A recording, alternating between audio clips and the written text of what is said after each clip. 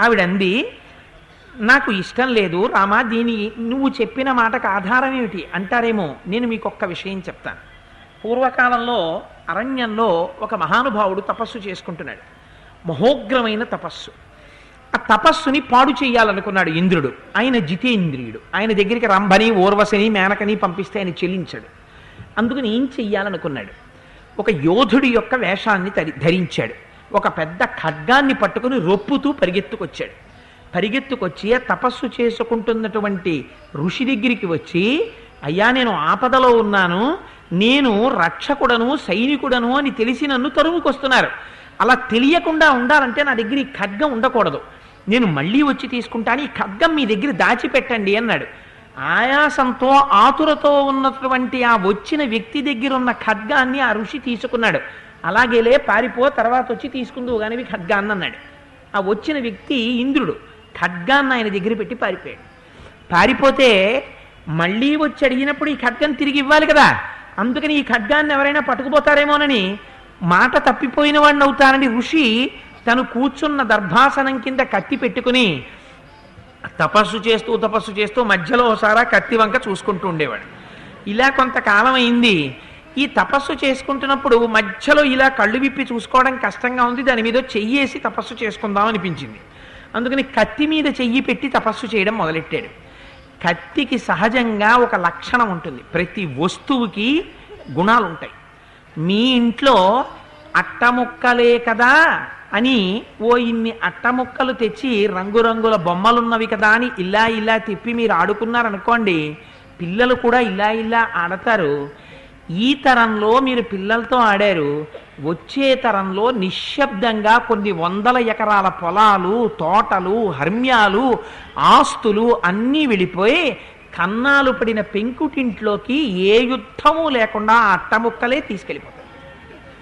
ఒక్కొక్క వస్తువుకి ఒక్కొక్క గుణం ఉంటుంది. తండ్రి మరణించాడరా అంటే శ్మశానానికి ఇటే తీసుకెడతారు కదా ఇంకొక ఆట అంటాడు. దానికి అంత ఆకర్షణ శక్తి ఉంటుంది ఒక్కొక్క వస్తువుకి ఒక్కొక్క శక్తి. అందుకని ఆ వస్తువులు ఎట్టి పరిస్థితులలో ఇంట్లో ఉండకూడదు. వస్తువునందు రజోగుణ తమోగుణ ప్రభావం ఉంటుంది. అందుచేత రామ ఆ కత్తి మీద చెయ్యి పెట్టి తపస్సు చేశాడు. కత్తికి ఒక లక్షణం ఉంది. ఆ కత్తి మీద చెయ్యి పెట్టి తపస్సు చేస్తూ ఉండడంలో రజోగుణం ప్రకోపించింది. రోజు దర్భల కోసం వెళ్ళి కుశాగ్రబుద్ధి కుశాగ్రబుద్ధి అంటుంటారు మన వాళ్ళు కుశము అంటే ఎంతవరకు తెంపాలో అంతవరకే తెంపుతారు. అక్కరలేని భాగాన్ని తెంపకూడదు. మీకు అధికారం లేదు. ఎందుకని? దర్భ మీరు మొలకెత్తించలేదు. పరమేశ్వరుడు మొలకెత్తించాడు. మీకు అవసరమైందే కొయ్యాలి. అందుకని అంత జాగ్రత్తగా ఉంటారు వాళ్ళు. అటువంటి వాడు కత్తి పట్టుకు తిరగడం మొదలెట్టాడు అడవిలో. ఎందుకని? ఏమో ఈ కత్తి పోతుందేమో అని. ఈ కత్తి పట్టుకు తిరుగుతుంటే కొన్నాళ్ళకి ఏమనిపించిందంటే చేతిలో కత్తి ఉంది కదా. సరదాగా అలా కొమ్మల మీదకి ఇలా రెమ్మల మీదకి వేసి వాటిని తెగ్గొట్టాలనిపించింది ఆ తర్వాత కొన్ని ప్రాణులు కనపడితే పొడవాలనిపించింది. ఆ తర్వాత కొన్నాళ్ళకి దారి దొంగతనాలు చేయాలనిపించింది. ఆ తర్వాత కొన్నాళ్ళకి కత్తి పట్టుకొని హత్యలు చేయాలనిపించింది. రామా ఇంద్రుడు ఏమీ చెయ్యలేదు. ఓ కత్తి చెలిపోయాడు. ఋషి పెద్ద హంతకుడై శరీరాన్ని వదిలిపెట్టేశాడు. అందుకని ఒక్కొక్క వస్తువుకు ఒక్కొక్క లక్షణం ఉంటుంది. మీరు ఈ కత్తి ఎందుకు పట్టుకుంటున్నారు? ఈ కోదండం ఎందుకు పట్టుకుంటున్నారు? ఈ బాణాలు ఎందుకు పెట్టుకుంటున్నారు? ఆశ్రమం కట్టుకుని మనం తపస్సు చేసుకుంటే పద్నాలుగేళ్ళు అయిపోయిన తర్వాత మన అయోధ్యకి మనం వెళ్ళిపోతాం. మీరు సింహాసనం మీద కూర్చున్నాక ఇలాంటివి పట్టుకోండి. ఇలాంటి ప్రతిజ్ఞలు చెయ్యండి నేను అంగీకరిస్తాను. ఇప్పుడు ఎందుకు ఈ ప్రతిజ్ఞలు మీకు? ఎందుకు చేశారు? మిమ్మల్ని వాళ్ళు ఏమైనా అన్నారా? నిజంగా మీరు ఆలోచించండి. ఇంట్లో భార్య వంటింట్లో వంట చేసుకుంటోందని మనం అనుకుంటాం. కానీ హాల్లో మీరు ఎవరితో ఏం మాట్లాడుతున్నారో అన్నీ అవి చెవిడి పడుతుంటాయి పోపు ఎంత శూన్యమంటుందో తర్వాత వచ్చి అలా మాట్లాడుతుంది.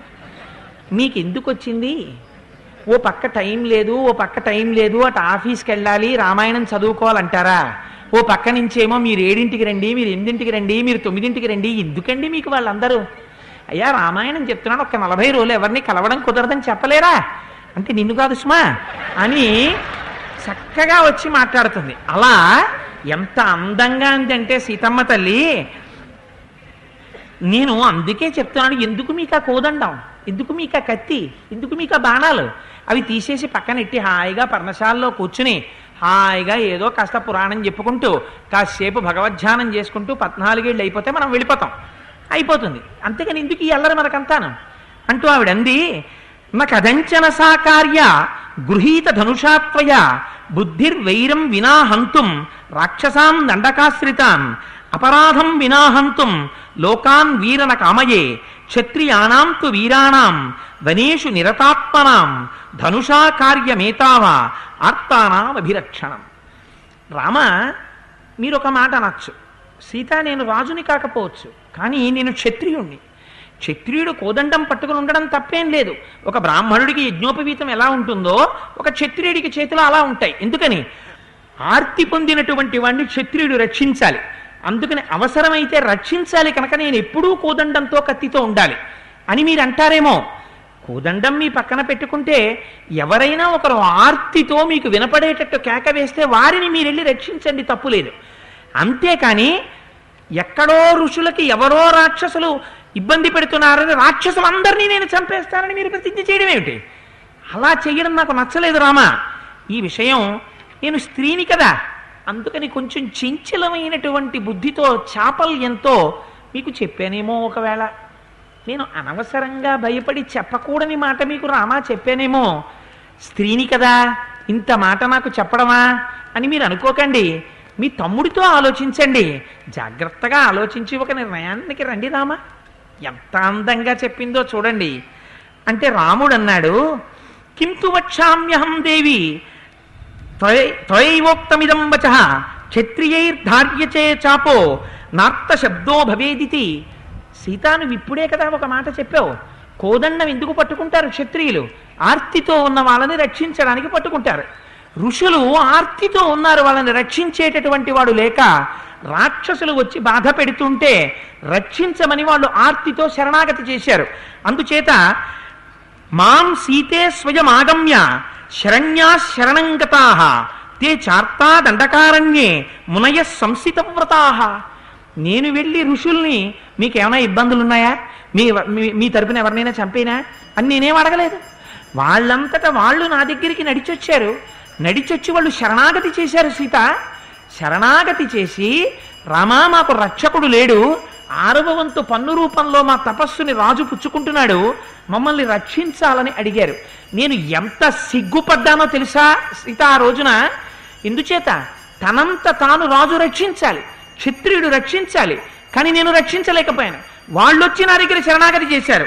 శరణాగతి చేస్తే ప్రసీదస్తు భవంతో మే హ్రీరేషాహి మమాతుల యదీదృశ్యైరహం విప్రై రూపస్థేయైరుపస్థిత కిం కరోమీతి చమయ జాహృతం దిజ సన్నిధౌ.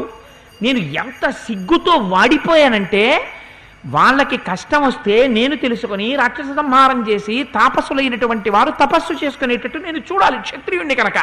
నేను ఇదే అరణ్యంలో తిరుగుతూ మీకు కష్టం ఉందా అని నేను అడగలేదు. నా అంత నేనుగా రాక్షస సంహారం చెయ్యలేదు. నేను చెయ్యకపోతే వాళ్ళు నా దగ్గరికి వచ్చారు. ఋషులందరూ వచ్చి నీకు శరణాగతి చేస్తున్నాను రామా తల్లి కడుపులో ఉన్న బిడ్డని తల్లే రక్షించినట్టు నువ్వే మమ్మల్ని రక్షించాలి నీకు సత్యం తెలుసు ధర్మం తెలుసు అని నన్ను అడిగారు. అడిగితే అప్పుడు నేను ప్రతిజ్ఞ చేశాను. నీకు మిమ్మల్ని బాధ పెడుతున్నటువంటి రాక్షసులు ఎవరున్నారో వారిని నేను సంహరిస్తానని చెప్పాను. అది క్షాత్రధర్మమే నువ్వు చెప్పినదే కదా అలా రక్షించాలని క్షత్రియుడు. నేను ఎక్కడ ధర్మం తప్పాను? అందుచేత నేను కోదండం పట్టుకుంటే నేను కత్తి కట్టుకుంటే వచ్చిన దోషం ఏమిటి? ఏ దోషం లేదు. అందుచేత నేను రక్షించి తీరుతాను. ఇంకొక మాట నేను చెప్తున్నాను సీత నువ్వు అడిగావు కాబట్టి. సంసృత్య చ న శక్ష్యామి జీవమాన ప్రతిశ్రమం మునినా మంజధా కర్తుం సత్యమిష్టం హిమే సదాహ. నా శరీరంలో ప్రాణాలు ఉన్నంత వరకు ఒకసారి నేను ప్రతిజ్ఞ చేసి రక్షిస్తానని చెప్పాను కనుక తాపసులై వారిని వారు రక్షించుకోలేని స్థితిలో ఉన్నారు కనుక వారిని రక్షించి తీరుతాను నీకు తెలుసు కదా సీత నాకు సత్యం పట్ల ఎంత మక్కువో? ఒకసారి ప్రతిజ్ఞ చేశానా? ప్రాణాలే పోయినా ఇంకా దాని నుంచి నేను వెనుతిరగను అప్యహం జీవితం జహ్యాం త్వాం వాసీతే సలక్ష్మణాం నతు ప్రతిజ్ఞాం సంసృత్య బ్రాహ్మణేభ్యో విశేషత. అది ఎవరికైనా సరే నేను మాట ఇచ్చాననుకో వెనక్కి తిరగడం కుదరదు. దానివల్ల అప్యహం జీవితం జహ్యాం త్వాం వాసీతే సలక్ష్మణాం. అవసరమైతే సీత నా ప్రతిజ్ఞ నెరవేర్చుకోవడానికి నిన్ను విడిచిపెట్టేస్తాను. లక్ష్మణుండి విడిచిపెట్టేస్తాను. ఇంకా అవసరమైతే నా శరీరాన్ని విడిచిపెట్టేస్తాను. తప్ప నేను మాత్రం బ్రాహ్మణేభ్యో విశేషత. బ్రాహ్మణులకు మాట ఇచ్చి கையுமேந்திய முக்கோலும் வாழியே பொய்யில்லாத மனவாழ மாமனி பொந்திவாழ் புகழ்வாழ் வாழியே ஷடகோபன் தந்தமிழ் நூல் வாழ மனவாழ மாமுனியே இன்னும் ஒரு நூத்தாண்டிரும் எழில் திறவாய் முளைப்பிள்ளை இணையணியோன் வாழியே அரவரசப்பெரும் சோதை அனந்தன் என்னும் வாழியே ஏறாரும் மிதிராஜரண முதித்தான் வாழியே மூதரிய மனவாழ மாமுனிவன் வாழியே श्रीरङ्गवासिने भूयात् नित्यश्री नित्यमङ्गलम् उपचारापदेशेन कृतान् हरर्मया अपचाराणि मान् सर्वान् क्षमस्व पुरुषोत्तम ज्ञानतो ज्ञानतो वापीयतोक्तन कृतं मया तत्सर्वं पूर्णमेवास्तु सुतृप्तो भव सर्वदा ओम अच्युत जगन्नाथ मंत्रमूर्ते जनार्दन रक्षमां पुण्डरीकाक्ष क्षमश्वाद प्रसीद।